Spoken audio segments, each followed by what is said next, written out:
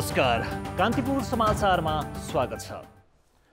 सुरु गरौँ अहिलेका मुख्य समाचारबाट। मौद्रिक नीतिमा मर्जरमा जाने बैङ्क र लघुवित्तलाई सुविधै सुविधा। ऊर्जा पर्यटन र कृषिमा लगानी गर्नै पर्ने नियम नलाग्ने। कर्जा निक्षेप ब्याज अन्तर पनि खुकुलो। उद्योगी भने असन्तुष्ट। ठेकेदारले कामै नगरी म्याद गुजारेका पच्चिस सय आयोजना अनिश्चित। सरकार ठेक्का रद्द र ठेकेदारलाई कारवाही गर्नुको साटो फेरि नियमावली संशोधनको छलफलमा। बाढीले तटबन्ध फुटाउँदा सप्तरीका दुई हजारभन्दा बढी परिवार डुबानमा लमजुङमा तोर्टी खोलाले बगाउँदा तिनजनाको मृत्यु छजना बेपत्ता। बेलायती नवनियुक्त प्रधानमन्त्री बोरिस जोन्सनद्वारा शपथ ग्रहण। युरोपेली सङ्घबाट बेलायतलाई औपचारिक रूपमा छुट्याउनु जोन्सनको मुख्य चुनौती। र टी ट्वेन्टी विश्वकप छनौट खेलमा नेपालद्वारा मलेसिया सात विकेटले पराजित। ज्ञानेन्द्र मल्लले बनाए कीर्तिमानी अर्धशतक। नेपाल राष्ट्र बैङ्कले मर्जरमा जाने वाणिज्य बैङ्क तथा लघुवित्त कम्पनीलाई थप छुट सुविधा दिने भएको छ। यस वर्षको मौद्रिक नीति सार्वजनिक गर्दै राष्ट्र बैङ्कले मर्जरमा जाने वाणिज्य बैङ्कलाई कृषि ऊर्जा र पर्यटन क्षेत्रमा अनिवार्य रूपमा लगानी गर्नुपर्ने व्यवस्था पनि खुकुलो बनाएको छ। मर्जरमा जाने बैङ्कलाई दुई वर्षसम्म यो बाध्यता नहुने बनाइएको छ। अहिले कुल कर्जाको दस प्रतिशत ऋण कृषिमा पन्ध्र प्रतिशत पर्यटन र ऊर्जा क्षेत्रमा लगानी गर्नुपर्छ। राष्ट्र बैङ्कले वाणिज्य बैङ्कको कर्जा र निक्षेप बिचको अन्तर अर्थात् स्प्रेड दर शून्य दशमलव एक प्रतिशतले घटाएको छ। मर्जरमा जाने बैङ्कहरूलाई भने यो अन्तर बाध्यकारी छैन। त्यस्तै मर्जरमा जाने लघुवित्त कम्पनीलाई सीमा नाघेको कर्जा असुल गर्न थप समय दिइएको छ। लघु उद्यमको कर्जा सीमा पनि यस्ता कम्पनीलाई पाँच लाखबाट बढाएर पन्ध्र लाख कायम गरिएको छ। पुर्याउनु पर्ने अवधि दुई हजार अठहत्तर असार मसान्त कायम गरिनेछ। ख कर्जा र निक्षेप बिचको ब्याज अन्तर ब्याज दर अन्तर चार पोइन्ट चार प्रतिशत कायम गर्नुपर्ने अवधि दुई हजार अठहत्तर असार मसान्त कायम गरिनेछ। शाखा विस्तार गर्न यस ब्याङ्कको स्वीकृति लिनु नपर्ने गरिनेछ। सञ्चालक समितिका सदस्य प्रमुख कार्यकारी अधिकृत नायक प्रमुख कार्यकारी अधिकृत पदबाट हटेको कम्तीमा छ महिना व्यतीत नभई यस ब्याङ्कबाट इजाजत पत्र प्राप्त अन्य संस्थामा सञ्चालक वा अन्य कुनै पनि हैसियतमा काम गर्न नपाउने विद्यमान प्रावधान लागु लागु हुने छैन। चुक्ता पुँजीको पच्चिस प्रतिशत बराबर ऋणपत्र जारी जारी गरिसक्नुपर्ने अवधि दुई हजार अठहत्तर असार मसान्त कायम गरिनेछ। अब बैङ्कले सुन पनि निक्षेपको रूपमा जम्मा गर्न सक्नेछन्। अहिलेसम्म लकरमा सुन राख्दा ग्राहकले बैङ्कलाई सेवा शुल्क तिर्नुपर्छ। अब भने सुन राखे बापत सेवा शुल्क तिर्नुपर्ने बाध्यता हट्नेछ भने उल्टै सुन राख्नेले बैङ्कबाट ब्याज पाउनेछन्। शत प्रतिशत रकम कर्जा उपयोग गर्न सक्ने व्यवस्था गरिनेछ। नेपाली नागरिकसँग रहेको सुन ब्याङ्कमा निक्षेपको रूपमा जम्मा गर्न सक्ने विषयमा नीतिगत व्यवस्था गरिनेछ। बैङ्कको ऋण लिँदा अहिले बैङ्कहरूले विभिन्न किसिमका बिमा गर्न लगाउँछन्। तर अब भने कर्जासँग प्रत्यक्ष रूपले सम्बन्ध राख्ने बाहेक अन्य बिमा गराउन नपाइने व्यवस्था गरिएको छ। र यस्तो बिमा पनि अब ग्राहकले चाहेको कम्पनीमा गराउन सक्नेछन्। विदेशका हेजिङ फन्ड र पेन्सन फन्डबाट समेत ऋण लिन सक्ने व्यवस्था मौद्रिक नीतिमा समेटिएको छ। यसरी विदेशबाट ल्याउने ऋणको ब्याज सीमा पनि केही खुकुलो बनाइएको छ। यसले बैङ्कहरूलाई विदेशबाट ऋण लिन थप सहज हुने र मुलुकमा लगानी योग्य रकम अभाव कम हुने अपेक्षा गरिएको छ। आज राष्ट्र बैङ्कले सार्वजनिक गरेको मौद्रिक नीतिका बारेमा कुराकानी गर्न हामीसँग कान्तिपुर स्टुडियोमा अहिले नेपाल राष्ट्र बैङ्कका पूर्व कार्यकारी निर्देशक नरबहादुर थापा हुनुहुन्छ। थापाजी यहाँलाई स्वागत छ। धन्यवाद नमस्ते। आज नेपाल राष्ट्र बैङ्कले मौद्रिक नीति सार्वजनिक गर्यो। जसमा बिग मर्जरमा जाने वाणिज्य बैङ्क तथा लघु वित्तहरूलाई चाहिँ विभिन्न खाले सहुलियतहरू दिएको छ। यो बिग मर्जरमा जानको लागि जुन सहुलियतहरू दिएको छ यो अहिलेको आवश्यकता थियो? मौद्रिक नीति आउनुभन्दा पहिले फोर्सफुल मर्जरको कुरा व्यापक चर्चा पाएको अवस्था थियो र राष्ट्र ब्याङ्कले आफ्नो मौदी नीति मार्फत बाध्यात्मक मर्जर होइन कि प्रोत्साहन गरेर चाहिँ ब्याङ्क तथा वित्तीय संस्थाहरू एक आपसमा चाहिँ गाभिनुपर्छ विलय हुनुपर्छ भन्ने किसिमका चाहिँ प्रोत्साहन गर्ने खालका चाहिँ औजारहरू चाहिँ प्रयोग गरेको चाहिँ छ। र बाध्यतकारी नगरेको कारणले यसको कति औचित्य भन्ने कुरो यसले चाहिँ प्रश्न पार्दछ। अर्थशास्त्रीहरू बैङ्करहरू उद्योगिक व्यवसायीहरू नै भन्ने गर्छन् कि अहिलेको एउटा ठुलो समस्याको रूपमा चाहिँ बैङ्कहरूमा लगानी योग्य रकमहरू नहुनु हो। यो आर्थिक जुन मौद्रिक नीति ल्याएको छ नि यसले यो समस्यालाई चाहिँ सम्बोधन गर्न सक्छ कि सक्दैन? यसले केही प्रयास चाहिँ गरेको चाहिँ छ। उदाहरणको लागि वाणिज्य ब्याङ्कहरूले आफ्नो चुक्ता पुँजीको पच्चिस प्रतिशत अनिवार्य रूपमा चाहिँ ऋणपत्र जारी गरेर परिचालन गर्नुपर्ने व्यवस्था गरेको छ। अर्को चाहिँ यो बाह्य क्षेत्रबाट सापटी परिचालन गर्ने ऋण परिचालन गर्ने विन्डोलाई चाहिँ विस्तार गरेको चाहिँ छ। तर दुईवटा कुरा चाहिँ राष्ट्र ब्याङ्कले गर्न सक्थ्यो। यो चाहिँ आर्थिक वर्ष छ्यात्तर सतहत्तरको मौदी नीति मार्फत के गर्न सक्थ्यो भने यो वित्तीय स्रोत जुन कमीको अवस्था चाहिँ छ मागको तुलनामा एउटा चाहिँ लिक्विडिटी कभरेज रेसियो र नेट स्टेबल फन्डिङ रेसियोलाई कार्यान्वयनमा लैजाने र सिसिटिभी रेसियोलाई चाहिँ यो विकृत अवस्थामा राख्नुभन्दा हटाएर एक हिसाब किताबले सय डेढ सय अरबको चाहिँ वित्तीय स्रोत चाहिँ रिलिज हुन सक्थ्यो एउटा चाहिँ यो गर्न सक्थ्यो। अर्को चाहिँ वित्तीय स्रोत चाहिँ आन्तरिक रूपमा परिचालन गर्ने भनेको चाहिँ ब्याज दर मार्फत नै हो। अब मौद्रिक नीतिले उद्यमी व्यवसायलाई सुविधा दिने र उनीहरूको कस्ट फन्ड घटाउने उद्देश्य राखेर र ब्याज दर घटाएको अवस्था लचिलो मौद्रिकले नीति अवलम्बन गरेको अवस्था आउँदै थिएँ कि उद्योगिक व्यवसायीहरूले चाहिँ गुनासो गर्दै आएका छन् पटक पटक प्रधानमन्त्रीलाई भेट्नु भेटेका छन् उनीहरूले अर्थमन्त्रीलाई भेटेका छन् गभर्नरलाई भेटेका छन् कि ब्याङ्कहरूले जुन ब्याङ्कहरूमा लगानी योग्य रकम त्यसको ब्याज दर हुन्छ। त्यो ब्याज दर चाहिँ घट न नघटाउँदाखेरि चाहिँ बाधक बन्दै आएको छ। ब्याज दर चाहिँ बाधक बन्दै आएको छ भने उनीहरूले गुनासो गर्दै आइरहेका छन्। यो मौद्रिक नीतिले त्यसलाई चाहिँ सम्बोधन गरेको छैन? नै यो दुईवटा चाहिँ समस्या चाहिँ रहेका चाहिँ छन्। एउटा चाहिँ वित्तीय स्रोत लगानीयोग्य साधन कसरी बढाउने के के उपाय हुन सक्छन् भन्ने एउटा प्रश्न यो छ भने अर्को चाहिँ लागत कसरी घटाउने भन्ने चाहिँ छ। र यी दुईवटा एक अर्काका परिपूरक नुन पनि सक्छन् कतिपय अवस्थामा। यदि आन्तरिक रूपमा वित्तीय स्रोत लगानीयोग्य साधन बढाउने हो भने अनौपचारिक क्षेत्रमा रहेको बचतलाई औपचारिक क्षेत्रमा ल्याउनु पर्ने हुन्छ आकर्षित गर्नुपर्ने हुन्छ। त्यसको लागि चाहिँ ब्याज दर अलिकति माथि जानुपर्ने हुन्छ। त्यसैले मौद्रिक नीतिले यो चाहिँ ब्याज दर वित्तीय स्रोत परिचालन गर्ने उपकरणको रूपमा नलिएर उद्यमी व्यवसायलाई कसरी हुन्छ लागतमा उनीहरूको कस्ट बोरिङ कसरी घटाउने भन्नेतर्फ मौद्रिक नीति केन्द्रित रहेको देखिन्छ। थापाजी म तपाईँलाई एउटा यहाँ तथ्याङ्क राख्न चाहन्छु। गत जेठ महिनामा मूल्य वृद्धि छ दशमलव दुई प्रतिशत रहेको तथ्याङ्क सार्वजनिक गरिएको थियो। अघिल्लो वर्ष यही समयमा चार दशमलव एक प्रतिशत मात्र रहेछ। यो मौद्रिक नीतिले मुद्रास्मृतिको जुन समस्या छ नि यो देखिएको समस्या छ नि यसलाई नियन्त्रण गर्न सक्छ? नेपालको मुद्रास्फीति भारतको मुद्रास्फीतिले गाइड गर्छ। त्यसैले भारतमा चार प्रतिशतको लक्ष्य रहेको चाहिँ छ र भारतमा मुद्रास्फीति दर तिन प्रतिशतको हाराहारी रहेको अवस्थामा नेपालले छ प्रतिशतको चाहिँ सीमा चाहिँ मुद्रास्फीतिको का तोकेको अवस्था चाहिँ छ। त्यसैले जबसम्म भारतमा मुद्रास्फीति चार प्रतिशतको वरिपरि रहिरहन सक्छ रहन सक्छ त्यो बेलासम्म नेपालको मुद्रास्फीतिमा ठुलो दबाब नपर्न सक्छ। त्यसलाई त्यसलाई केन्द्रबिन्दुमा राखेर मौद्रिक नीतिले यो ग्रोथलाई चाहिँ फोकस गरेको चाहिँ देखिन्छ। हस् धन्यवाद यहाँको अमूल्य समय र विचारको लागि। धन्यवाद। उहाँ हुनुहुन्थ्यो नेपाल राष्ट्र ब्याङ्कका पूर्व कार्यकारी निर्देशक नरबहादुर थापा। आज नेपाल राष्ट्र ब्याङ्कले सार्वजनिक गरेको मौद्रिक नीतिका बारेमा कुराकानी गर्दै। अब बाँकी समाचार नेपाल राष्ट्र ब्याङ्कले बुधबार सार्वजनिक गरेको मौद्रिक नीतिप्रति उद्योगीहरूले असन्तुष्टि जनाएका छन्। ब्याजदर नियन्त्रण तथा लगानी योग्य रकमको अभाव हटाउनको लागि नीतिगत व्यवस्था गर्न चुकेको उनीहरूको भनाइ छ।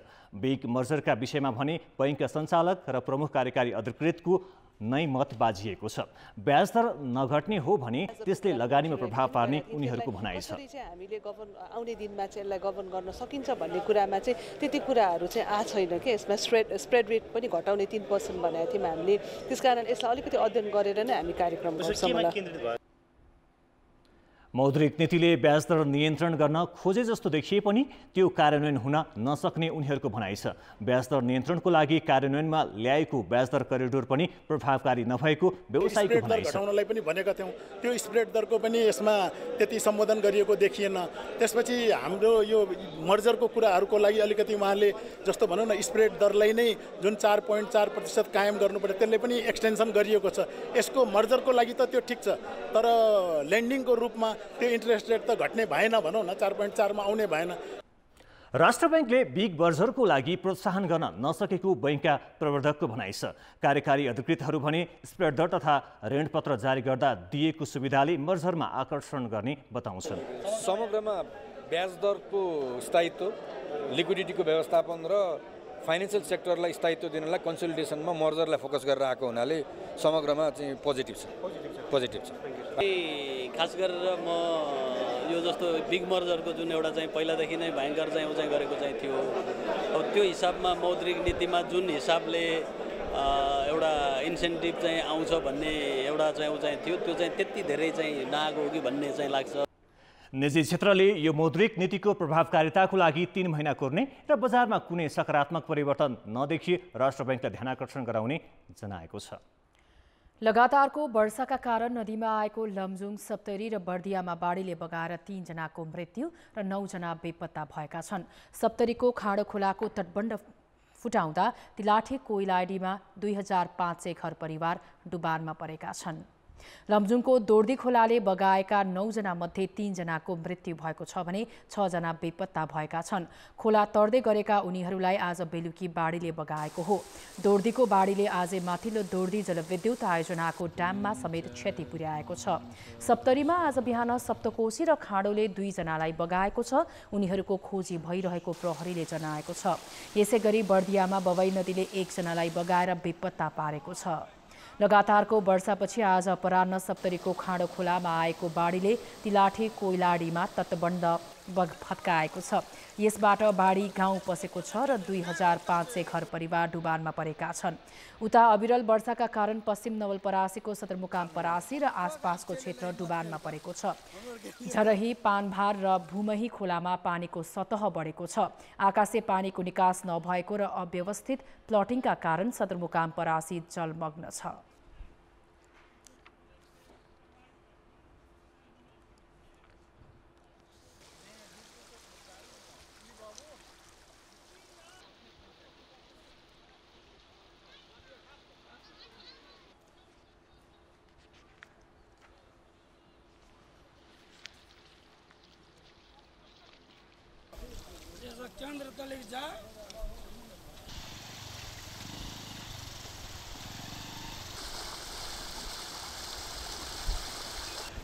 हम थोड़ी कहाँ बैठले रहो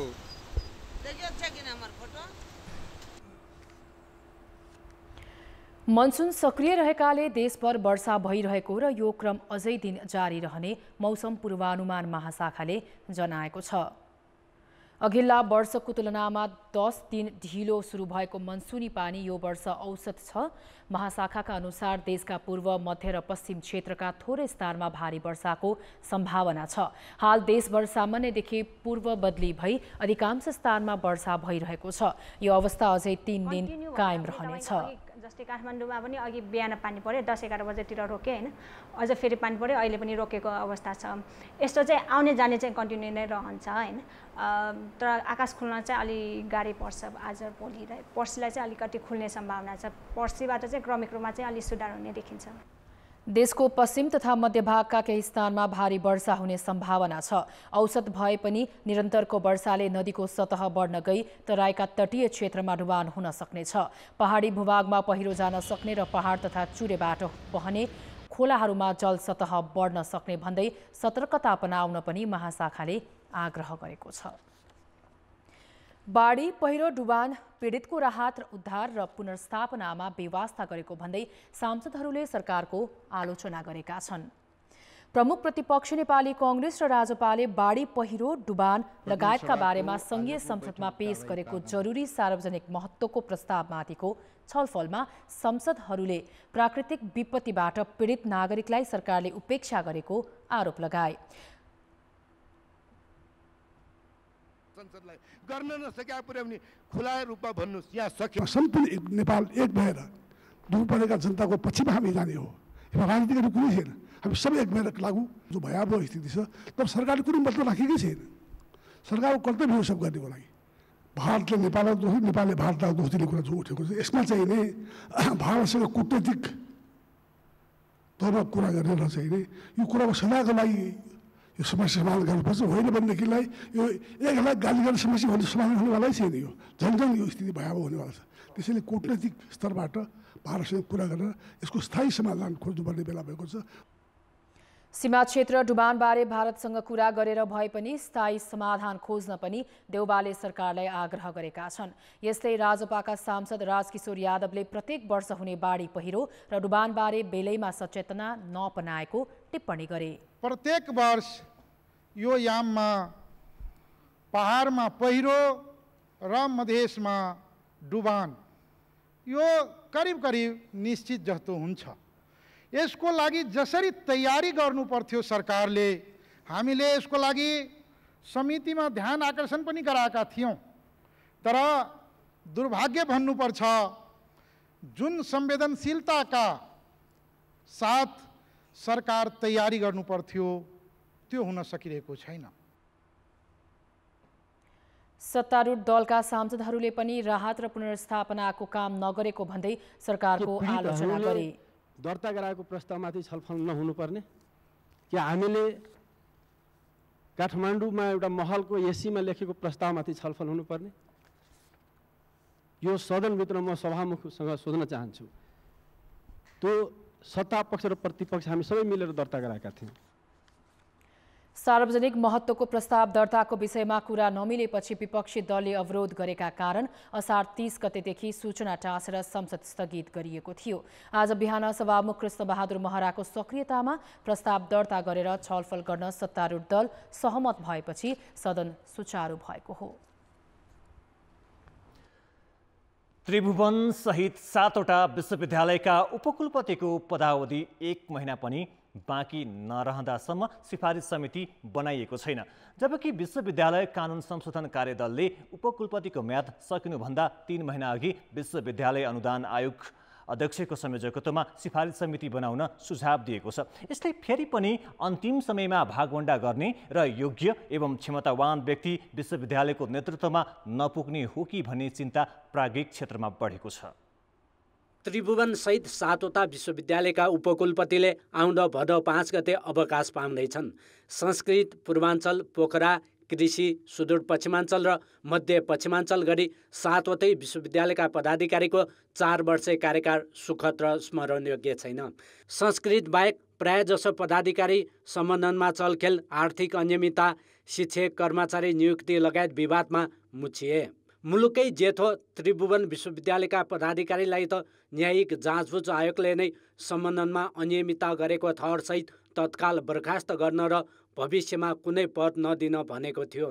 त्यसपछि पनि उपाधि र पदक किनबेच कर्मचारी भर्नामा अनियमितता लगायत प्रकरण बाहिर आइरहे। ती पदाधिकारी पदमा बसिरहे। उता सुदूर पश्चिमाञ्चल विश्वविद्यालयका पदाधिकारी शिक्षक कर्मचारी नियुक्ति विवाद र आर्थिक अनियमितताका कारण निलम्बनमै परे। यस्तै मध्य पश्चिमाञ्चल कृषि र पोखरा विश्वविद्यालयका पदाधिकारीले आर्थिक चलखेलका आधारमा सम्बन्धन वितरण र कार्यक्रम विस्तार गरेको आरोप खेपे। पूर्वाञ्चलका पदाधिकारीले खसेको साग उकास्नु त परै जाओस् योग्यता नै नपुगेकालाई दिन र रजिस्टार बनाएको तर कार्यकारी र प्राज्ञिक सदस्य चयन नै गर्न नसकेकोमा आलोचना खेप्नु पर्यो। अध्ययन अनुसन्धानलाई प्राथमिकता दिनुपर्ने पदाधिकारी लोप लालचमा फस्दा यो दुर्भाग्यपूर्ण स्थिति आएको प्राज्ञको बुझाइ छ। अब सक्षम भन्ने कुरा भन्दा पनि यो अब संस्थामा विभिन्न चाहिँ के अरे लोभीपापीहरू भए जस्तो लाग्छ। जसको कारणले गर्दाखेरि यी विवादहरू चाहिँ के अरे निस्केको जस्तो मलाई त्यस्तो अनुभूति हुन्छ। त्यस्तो हुनु त कहीँ पनि मिल्दैन। त्यसमध्ये पनि यो यो प्राज्ञिक थलो जस्तो विश्वविद्यालय जस्तो ठाउँमा त्यस्तो हुनु साह्रै दुःखदायी कुरा चाहिँ हो।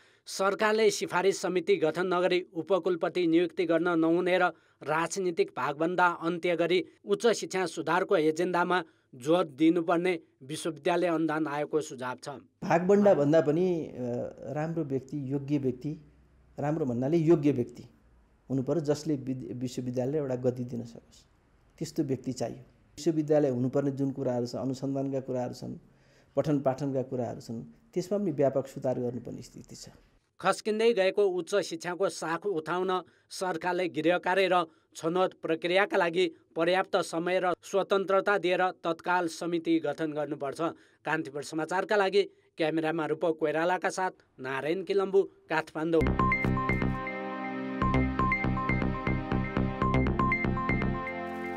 नियमावलीमा पचास प्रतिशत काम भएका आयोजनामा सचिव स्तरीय निर्णयबाट अर्को एक वर्ष म्याद थप्ने व्यवस्था छ। तर कामै नगरी म्याद गुजारिएका आयोजनाको म्याद थप्ने व्यवस्था छैन। विकासे मन्त्रालयहरू भने रोगी बनेका ठेक्का समेत तोड्न र जिम्मेवार ठेकेदार र कर्मचारीमाथि कारवाही गर्न हिचकिचाइरहेका छन्। यसले पच्चिस सयभन्दा बढी आयोजनाको भविष्य थप अन्यलपूर्ण बनेको छ। वर्षौँ पहिले ठेक्का लागेर पटक पटक म्याद थप्दा पनि सम्पन्न हुन नसकेका रुग्ण आयोजनाको सङ्ख्या पच्चिस सय बढी छ। सडक पुल सिँचाइ स्वास्थ्य भवन लगायत पूर्वाधारका ठेक्का ओगटेर राख्ने तर समयमा काम नगर्ने प्रवृत्ति बढेपछि कुनै पनि आयोजनाको पचास प्रतिशतभन्दा धेरै म्याद थप्न नपाउने गरी सरकारले गत वैशाख तिस गते सार्वजनिक खरिद नियमावलीमा छैठौँ संशोधन गर्यो। तर निर्माण व्यवसायीले तगारो हालेपछि संशोधनको मसी सुक्न नपाउँदै सरकारले जेठ तेइस गते पुनः सातौँ संशोधन गर्यो। उक्त संशोधनले म्याद सकिन लागेका जीवित ठेक्काको हकमा निर्माण सम्पन्न हुने ग्यारेन्टी भए सचिव स्तरीय निर्णयबाट पचास प्रतिशत म्याद थप्न सकिने व्यवस्था गरेको छ। तर समयमा काम नगरेका र म्याद पनि नथपिएका रोगी ठेक्काको बारे प्रष्ट व्यवस्था छैन। त्यसैले पच्चिस अर्ब रुपियाँ भन्दा बढीका पच्चिस सय आयोजना अलपत्र अवस्थामा छन्। सचिवजीहरूले चाहिँ कहाँनिर गएर कन्भिन्स हुनु भएन भन्दाखेरि यो एक वर्षलाई म्याद थप्ने कुरामा त नेपाल सरकारले सातौँ संशोधनबाट ल्यायो। त्योभन्दा अगाडि जुन कामहरू जीवित थिएन जसको म्याद चाहिँ कुनैको छ महिना गुजिसकेको कुनैको तिन महिना कुनैको तिन वर्ष हुँदा त्यो अवधिको म्याद चाहिँ कसले थप गर्ने भन्ने कुरामा अन्यलता आयो। म्याद थप्ने व्यवस्था नभएकाले सरकारी निकायले ठेक्का नै रद्द गर्न नसक्ने होइनन् तर यस्तो निर्णय गर्न पनि सरकारले सकिरहेको छैन। बरु म्याद थपको विषयलाई लिएर फेरि नियमावली संशोधन गर्ने वा ऐन परिवर्तन गर्ने भन्ने छलफल सरकारी तहमा चल्न थालेको छ। छलफल भएको छ। हाम्रो सचिवहरू बिचमा पनि छलफल भएको थियो र यो नियावलीमै केही संशोधन चाहिँ गर्नुपर्ने हुन्छ। र संशोधन भनेपछि यो नियावली आफैमा राम्रो छ। यो के हुन्छ भने काममा सम्पन्न गर्नको लागि यो नियावली आएको। तर कुरो के हो भने पहिलाको जुन अल्झिएका आयोजनाहरू रुग्न आयोजनाहरू छ नि अब कसैको भनौँ न नब्बे प्रतिशतभन्दा काम बढी भइसक्यो। उसले अब ठेक्का तोडेर जाने अवस्था पनि भएन। उही दस पर्सेन्ट उनीहरूबाटै काम गर्दाखेरि सहज हुन्छ। र कसैको यदि बिस पर्सेन्ट मात्रै काम भएको छ भने त्यस्तोलाई हामीले ठेक्का तोडेर उनीहरूबाट काम हुँदैन। जति म्याद थपे पनि हुँदैन त्यहाँनिर नयाँ किसिमले हामीले होइन छुट्टै एउटा टेन्डर गरेर काम गर्नुपर्ने हुन्छ। सार्वजनिक निर्माणका ठेक्कामा राज्य कोषको ठुलो लगानी भइसकेकाले स्पष्ट नीति आउनु जरुरी छ।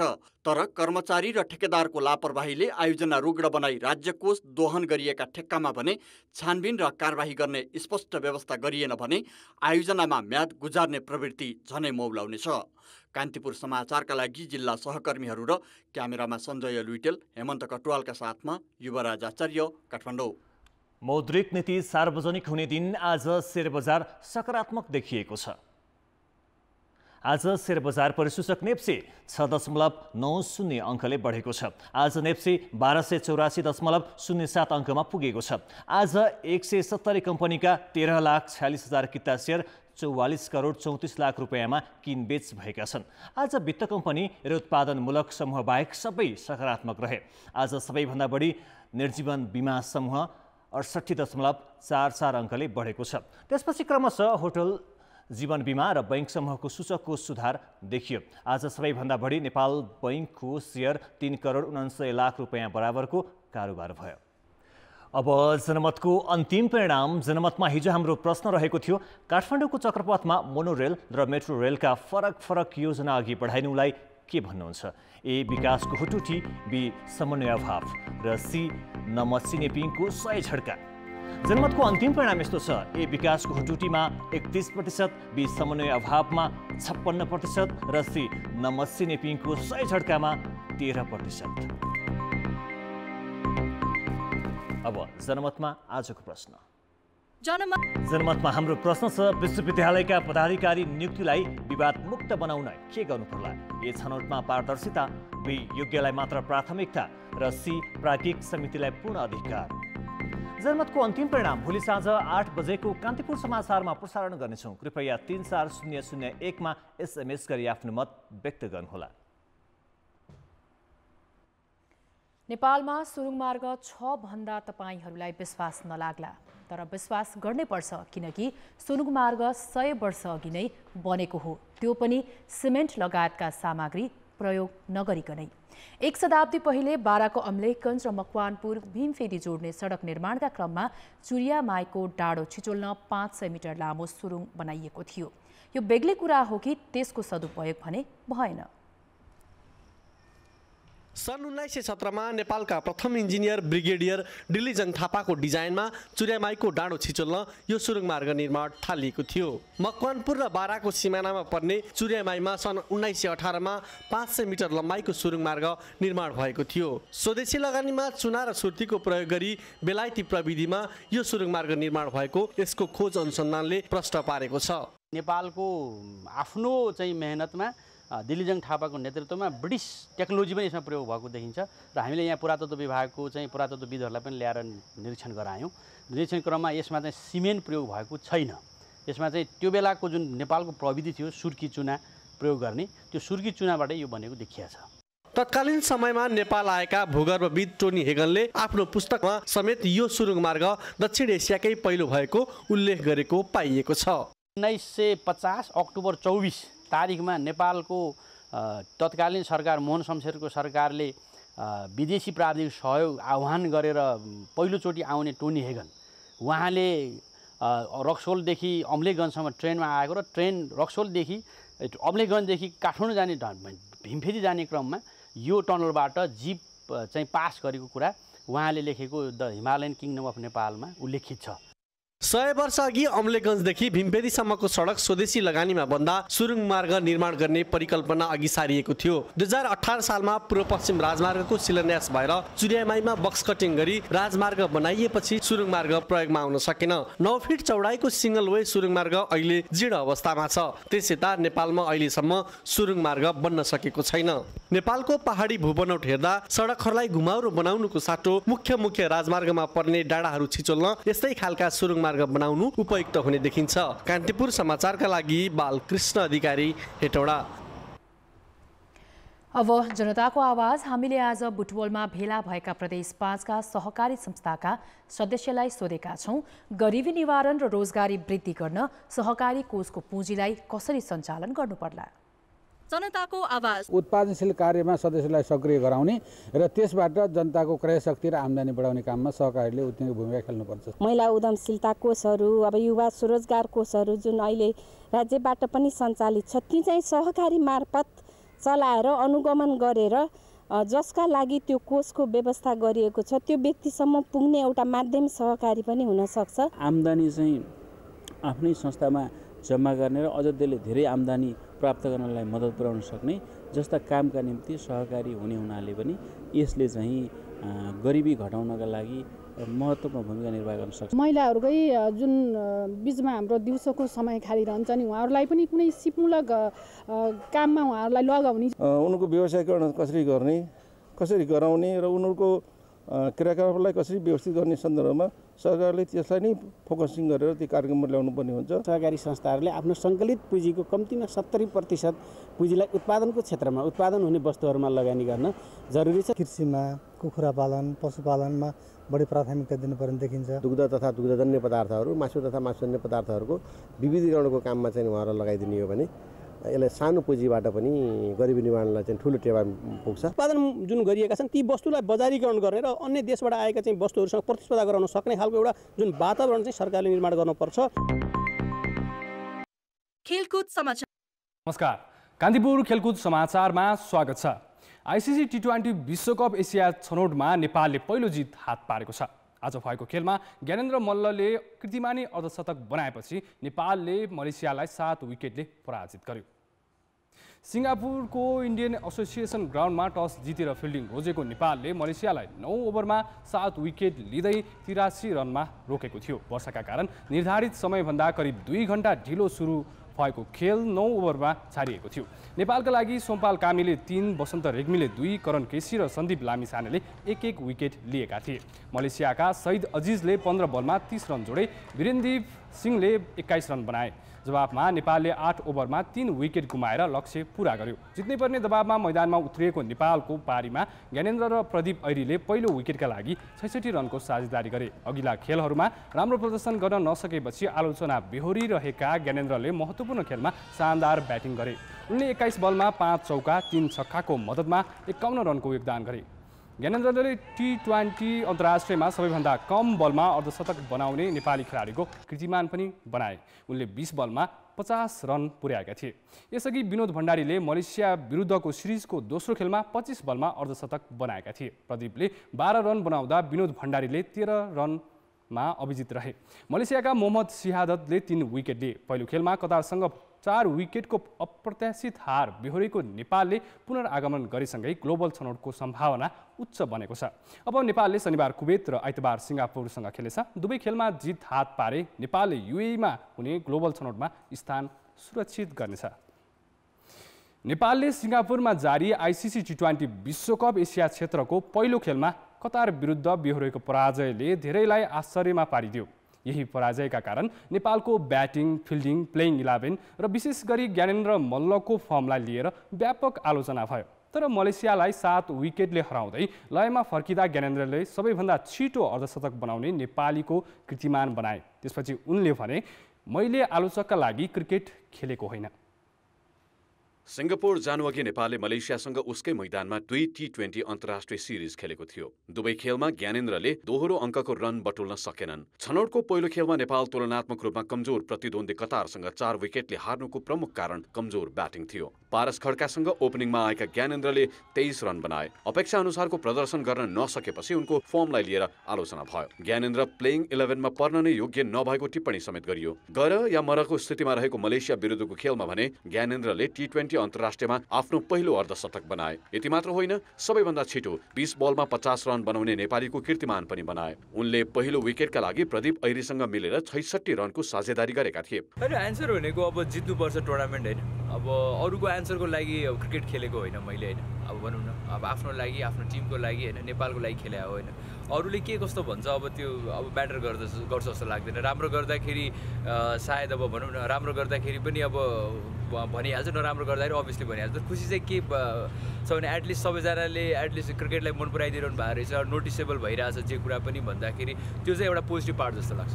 पारस खड्का ढाडको चोटका कारण आज मैदानमा उत्रिएनन्। उनको अनुपस्थितिमा कप्तानको भूमिकामा देखिएका ज्ञानेन्द्रले आफ्नो जिम्मेवारी पूरा गरे। ज्ञानेन्द्र र सोमपाल कामीको प्रेरणादायी भूमिकामा जित हात पारेसँगै नेपालको ग्लोबल छनौट यात्रा जीवित भएको छ। पानी परेपछि एक समय नेपालको सपना चकनाचुर हुने हो कि भन्ने चिन्ता पनि थियो तर पानी रोकियो र नौ ओभरको खेल सम्भव भयो। ग्राउन्ड सानो छ होइन विकेट आज एकदमै राम्रो खेलिरहेको थियो हिजो गाह्रो थियो तर आज चाहिँ भनौँ न हिजोभन्दा बेटर थियो ब्याटिङको लागि। त्यसले गर्दा चाहिँ अब भनौँ न नाइन ओभर हो त्यसले गर्दा चाहिँ स्विङ गर्छ ब्याट्सम्यानले होइन अनि जत्र ब्याट्सम्यानले स्विङ गर्छ विकेट लिने पनि त्यति नै चान्स हुन्छ। त्यसले गर्दा चाहिँ आफ्नो काममा चाहिँ वर्क गरिरहेको। We are having a goal which is supposed to be in the World Cup. So anything which comes in the way would be more of a hindrance for us. We're trying to get it as clear as possible. So the clarity is there. Sometimes you don't get the results, but we are looking to get more results. अझै पनि नेपालले आफ्नो स्तर र क्षमता अनुसारको खेल प्रदर्शन गर्न सकिरहेको छैन अङ्क तालिकामा तीन अङ्कका साथ सिङ्गापुर पहिलो दुई अङ्कसहित मलेसिया दोस्रो र नेपाल तेस्रो स्थानमा छ कान्तिपुर समाचारका लागि सिङ्गापुरबाट रोशन बहादुर सिंहको रिपोर्ट खेलकुद मन्त्रालयले युथ एसियाली एथलेटिक्सका स्वर्ण विजेता र पाकिस्तान विरुद्ध ऐतिहासिक सिरिज जितेको नेत्रहीन महिला क्रिकेट टिम लगायतलाई नगदसहित सम्मान गरेको छ। मन्त्रालयले युथ एसियाली एथलेटिक्सका स्वर्ण विजेता अजित यादव ब्याडमिन्टनका प्रिन्स दाहाल र स्पेसल ओलम्पिकका स्वर्ण विजेता अजय तामाङलाई जनही एक एक लाख नगद पुरस्कार प्रदान गरेको हो। अजितका प्रशिक्षक धनीराम चौधरीलाई पनि पचास हजार पुरस्कार प्रदान गरियो। मन्त्रालयमा आज आयोजित कार्यक्रममा खेलकुद मन्त्री जगत बहादुर विश्वकर्माले उनीहरूलाई नगदसहित सम्मान गरेका हुन्। प्रिन्सले गत असोजमा दुबईमा भएको जुनियर इन्टरनेसनल ब्याडमिन्टन सिरिजको अन्डर फिफ्टिन स्वर्ण फिफ्टिन म्याच स्वर्ण जितेका थिए। यस्तै गत माघमा पाकिस्तानलाई चार शून्यले हराएर ऐतिहासिक सिरिज जितेको नेत्रहीन महिला क्रिकेट टिमलाई पचास हजार र अफिसियलहरूलाई पच्चिस हजार रुपियाँसहित सम्मान गरिएको थियो। स्पेसल स्पेसल ओलम्पिकतर्फ रजत विजेता महिमा कोइरालालाई पचास हजार र साफ महिला च्याम्पियनसिपका उपविजेतालाई जनही बत्तिस हजार पाँच सय रुपियाँ प्रदान गरियो। यस्तै कान्तिपुर सहकर्मी प्रदीप कुमार लेखी उत्कृष्ट खेल पत्रकारबाट सम्मानित भएका छन्। विगत दस वर्षदेखि खेलकुद पत्रकारितामा सक्रिय लेखीलाई मन्त्रालयले पचास हजार नगदसहित सम्मान गरेको हो। प्रिसिजन टुर अन्तर्गत इन्टरनेसनल कपमा आज साँझ भएको खेलमा इटालियन जाइन्ट क्लब युभेन्टेसले पहिलो जित हात पारेको छ। सिङ्गापुरको नान्जिङ ओलम्पिक स्पोर्ट्स सेन्टरको मैदानमा भएको खेलमा युभेन्टेसको युभेन्टसले अर्का इटालियन कप एसी मिलानलाई पेनाल्टी सुटआउटमा चार तिन गोल अन्तरले हराएको हो। निर्धारित समय एक एक गोलको बराबरीमा रोकिएपछि निर्णय ट्राई बेकरका आधारमा भएको थियो। पहिलो हाफको दसौँ मिनटमा मथाइस दि लिख्तको आत्माखाती गोलबाट मिलानले अग्रता बनाएको थियो। लिख्तको यो युभेन्टसबाट डेब्यू खेल हो। दोस्रो हाफमा अडसठीौँ मिनटमा क्रिस्टियानो रोनाल्डोले गोल गरेपछि खेलको स्थिति एक एकको बराबरीमा रोकिएको थियो। निर्धारित समयमा दुवै टोलीले थप गोल गोल गर्न नसकेपछि खेल टाई ब्रेकरमा पुगेको थियो। युभेन्टस आफ्नो पहिलो खेलमा टोटेनह्यामसँग तिन दुई गोल अन्तरले पराजित भएको थियो। पेनाल्टी सुटआउटमा युभेन्टसका लागि Merih Demiral Emre Can Cristiano Ronaldo र जोआओ क्यान्सिले गोल गरेका थिए। कान्तिपुर खेल समाचार अहिलेलाई यति नै। धन्यवाद किसन अब मौसम सम्बन्धी जानकारी।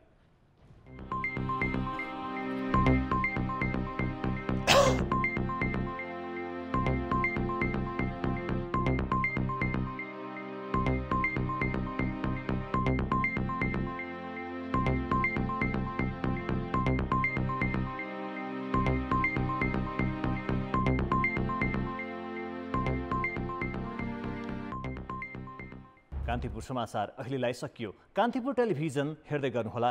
नमस्ते।